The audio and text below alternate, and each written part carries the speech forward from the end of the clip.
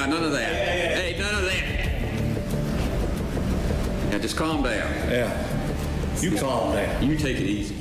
We're in Kentucky today as we delve into the unbelievable tale of Cletus Robbins Jr., a man who dared to challenge the authority of a judge in a way that no one could have ever imagined. In this video, we will take you through the gripping crime background and prosecution that led to this wild confrontation. Brace yourself as we uncover the shocking events that unfolded in the courtroom as Cletus Robbins Jr. hits back at the judge with a vengeance. Get seated for his sentencing following a three-day trial as he was convicted for an array of charges such as kidnapping with serious physical injury and robbery in the first degree, among many others. It was a sunny afternoon in the small town of Oakwood. The community was known for its peaceful streets and tight-knit neighborhoods, but behind the idyllic facade, a storm was brewing. This storm would soon engulf the lives of its residents, especially that of Cletus Robbins Jr., a name that would soon become synonymous with controversy and defiance. Born and raised in Oakwood, Cletus had a troubled upbringing. Growing up in a broken home, he found solace in the wrong crowd, leading him down a path of crime and rebellion. As a teenager, Cletus fell into a life of petty theft and vandalism. His criminal activities escalated over the years, earning him a reputation as a troublemaker within the community. But it was one fateful night that would forever change the course of his life. It was a moonlit night when Cletus and his gang decided to break into the local jewelry store. Their plan was meticulous, or so they thought. Little did they know that their every move was being watched by the vigilant eyes of law enforcement. As Cletus and his accomplices forced their way into the store, the alarm blared, alerting the police.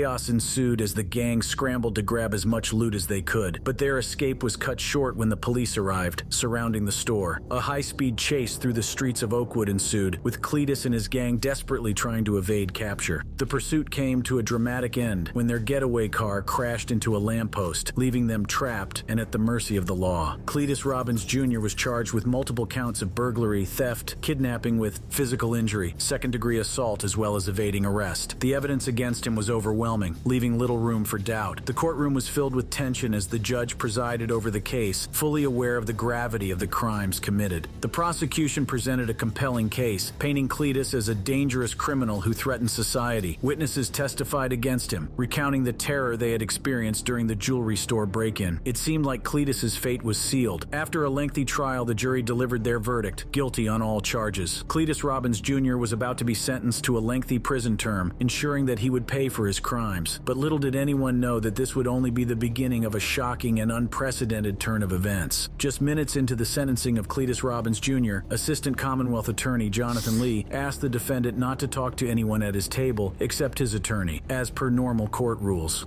Your Honor, the Commonwealth requests the court uh, give notice to the defendant not to communicate with the Commonwealth. Yeah, yeah, it's just, In it's fact, just, don't, stand don't, over don't be here. turning around. But Robbins had something to say about that. So, hey, hey, hey, now, none of that. Hey, none of that. Now, just calm down. Yeah. You calm down. You take it easy. Stand up up there on that side, please. Settle down, please. Fucking Fury ass court here. Listen, buddy, I'm too old for this. Hey, I'm too old for this too. The judge later hands him a heavy sentence and confines him to prison for a maximum of 25 years. But the session wasn't over for Robbins. He still had a lot on his mind to say. That sound you heard was the sound of Robbins Jr. spitting at the prosecuting attorney. Before he is ejected from the court, he makes one final threat. No additional charges were filed against Robbins for his courtroom misconduct. His 25 year sentence still stands. I'll ask my lawyer right now. Are you speaking to me? Welcome to Douglas County Courthouse for the hearing of 32 year old defendant Sahara Fakir, who has been charged with armed robbery, burglary, and murder. In today's sentencing, we bring you the chilling tale of Sahara Fakir, a name that sent shockwaves through the small community of Douglasville, Georgia. Join us as we explore the dark and twisted events surrounding Sahara Fakir's involvement in the murder of Jeremy Wheeler, a beloved local businessman and father. From the disturbing crime scene to the controversial defense that left everyone astounded, this story is filled with shocking twists and turns. Get ready to uncover the truth behind Sahara Fakir's crimes and the bizarre answers she gave during her trial. It was June 19, 2013, when tragedy struck the peaceful town of Douglasville. Jeremy Wheeler, a beloved local businessman and father, was going about his day, completely unaware of the horror that awaited him. Little did he know that his neighbor, Sahara Fakir, would be the one to bring about his untimely demise. Jerry Wheeler, a 66 year old resident of Douglasville, was in his home on River Run Drive,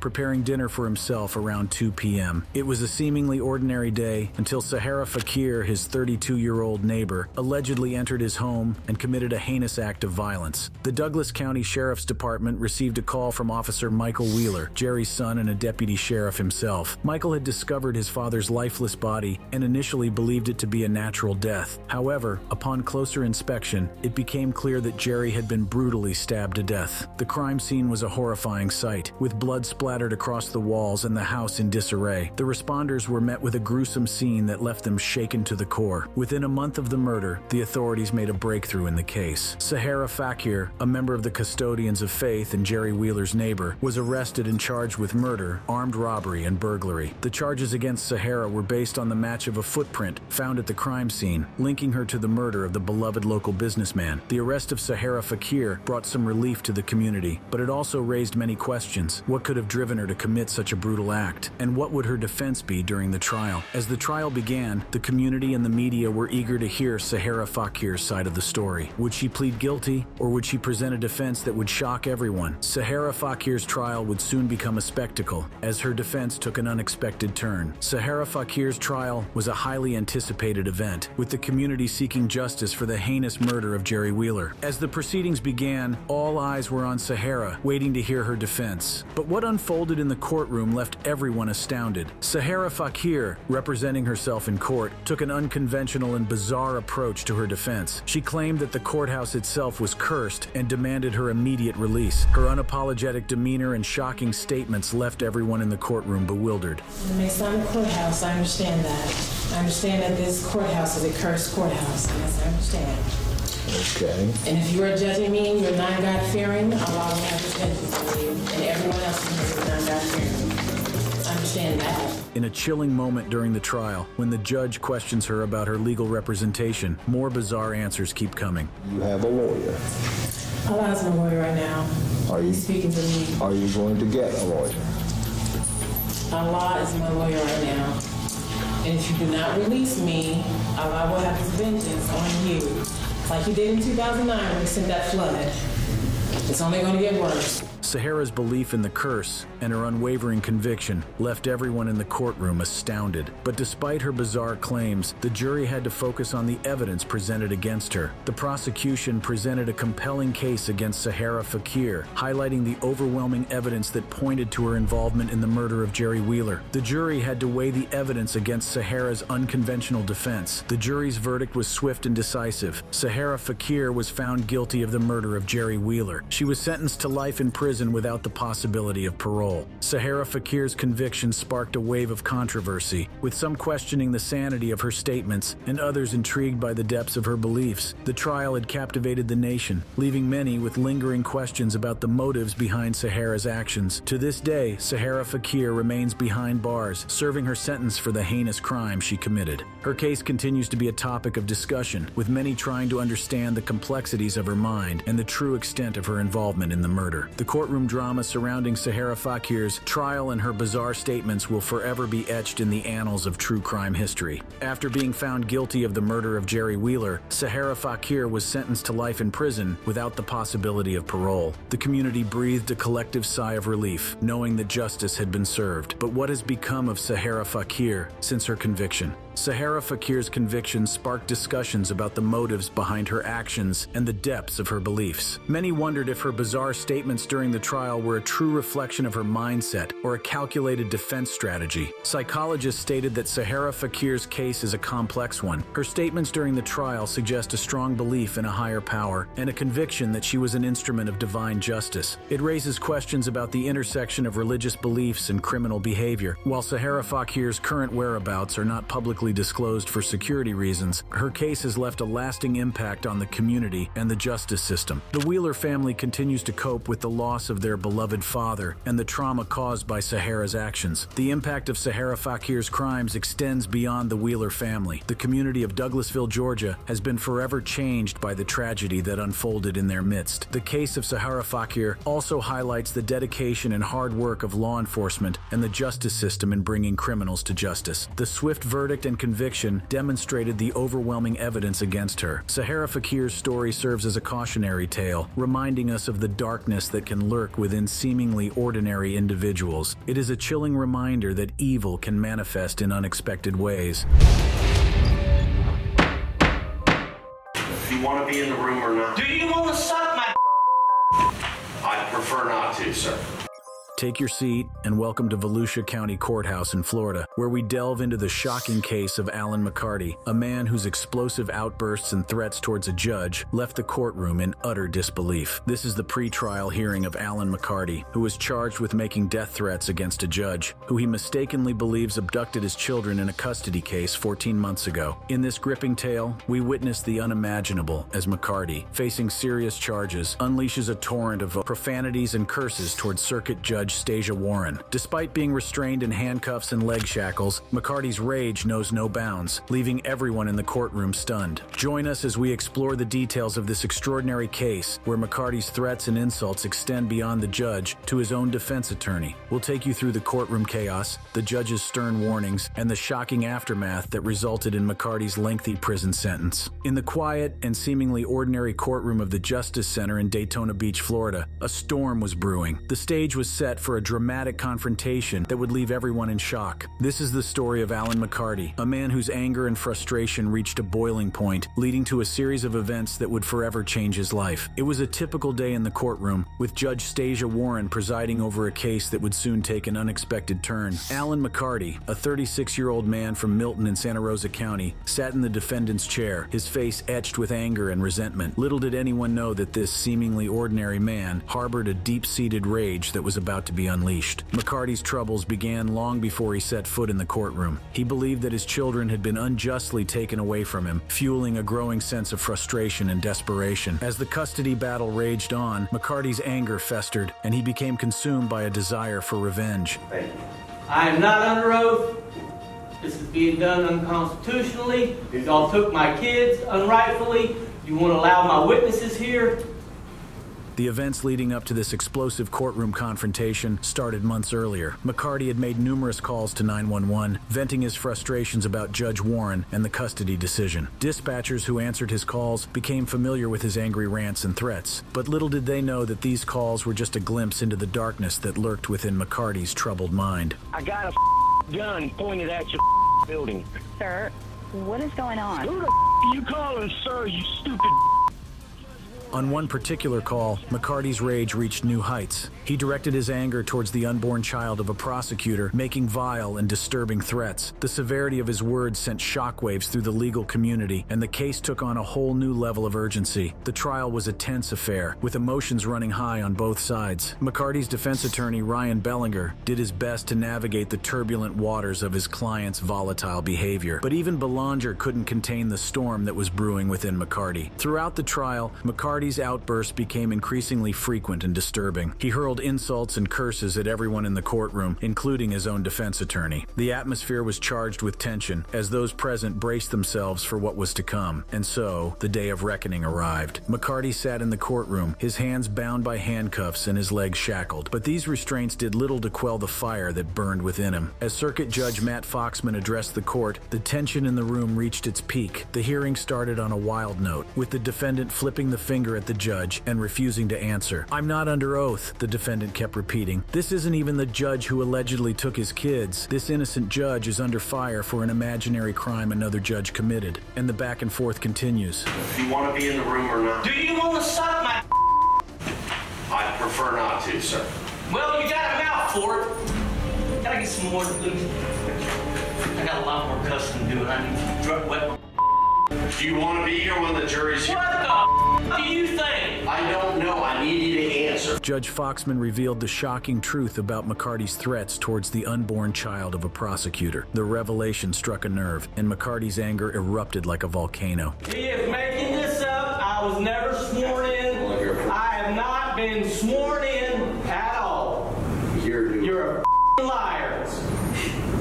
you, sir. Chaos ensued as Judge Foxman ordered McCarty to be removed from the courtroom. Deputies rushed to restrain him, but his screams and curses continued to fill the air. It was a scene of utter mayhem, with the echoes of McCarty's rage reverberating through the halls of justice. You wanna f***ing take my kids from me and act like that? F- you and that f***ing You loud with me? Is that what you're gonna do? No. Well then do it again. Come on. Shut up. I'm trying to think over here. Other room. It's done. Yes, sir. McCarty was dragged away, his voice fading into the distance, but the impact of his explosive outburst would linger, leaving everyone in the courtroom shaken and disturbed. Take all my paperwork so you, I can't f***ing show these people. You wanna take all my paperwork from me? Lock me in a cell f***ing all night?